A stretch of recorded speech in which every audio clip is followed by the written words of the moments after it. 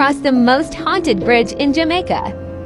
This bridge was made by slaves in the 1770s. Many of the slaves lost their lives while in process of building the bridge. A lot of attempts have been made to place railings, but somehow they never stay. It is said the ghosts of duppies and mermaids are the reason for this. We are in 2023 and there are still no railings.